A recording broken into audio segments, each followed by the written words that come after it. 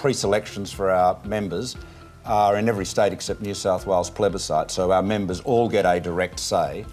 Um, and I'd certainly like to see plebiscites in New South Wales as well. My call basically is to say in New South Wales it would be a step in the right direction to introduce plebiscites, mm-hmm. but it would be a step in the right direction and they should be doing it as soon as they can. We have a membership in New South Wales that deserves more power, more say in how the party works, in who represents them and uh, we, we have been too slow in making that change, despite recommendations from many people, many reports, many senior members of the party.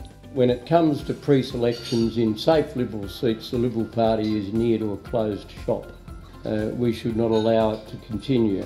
There are both costs and benefits to the current system, but I'm quite supportive of uh, a broader based system. Mm. And ultimately, what I'd like to see is the whole membership of the Liberal Party in New South Wales have a vote on the Howard Report. It is very difficult under the current structure to open branches.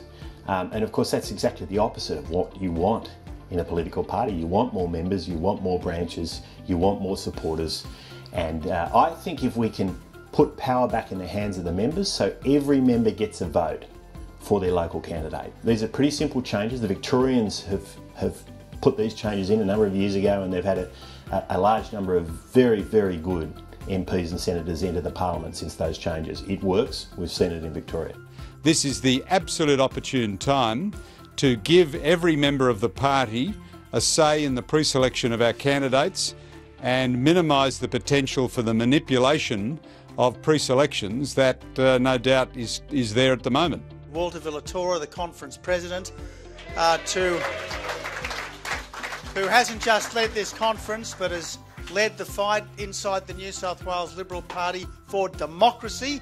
And wouldn't it be nice to see a bit of democracy inside our party?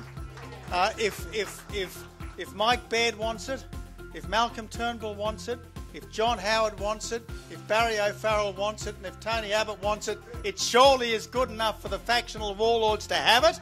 Yeah!